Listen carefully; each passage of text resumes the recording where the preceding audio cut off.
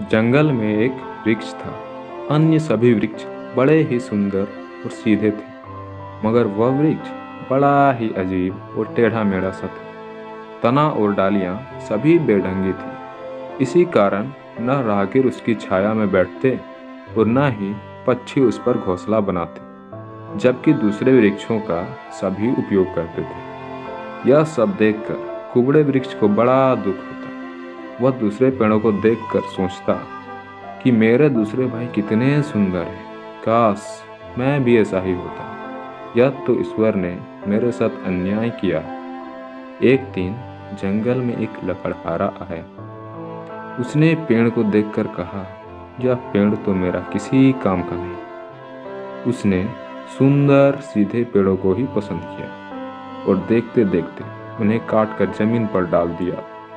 यह देखकर कुबड़े वृक्ष की आँखें खुल गई। अब वह सोचने लगा कि अच्छा हुआ जो ईश्वर ने मुझे ऐसा बनाया है। यदि मैं भी इनकी तरह खूबसूरत और सीधा होता तो आज मेरी भी जीवन लीला समाप्त हो गई होती।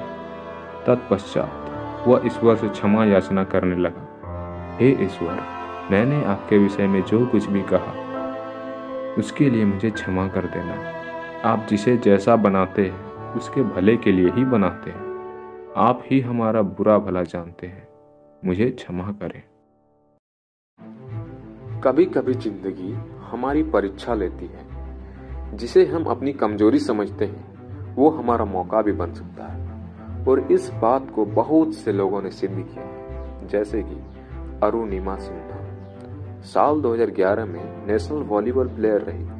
अरुणिमा सिन्हा को कुछ गुंडों ने चलती ट्रेन से फेंक दिया था। असहनीय दर्द में पूरी रात रेलवे ट्रैक पर गुजारने वाली अरुणिमा को इस हादसे में अपना एक पैर गंवाना पड़ा और उनकी दूसरी पैर में रॉड लगाई गई। ऐसे हादसों के बाद जहाँ आमतौर पर ज़िंदगी रुक सी जाती है, बहुत से लोग आर्टिफिशियल पैर के सहारे चलने में चार से पाँच साल लगा देते हैं। लेकिन अरुणिमा ने एक खिलाड़ी के तौर पर अपने अंदर बसे जुनून को बरकरार रखते हुए घटना के महज दो साल के अंदर दुनिया की सबसे ऊँची जगह, माउंट एवरेस्ट फतह कर ली।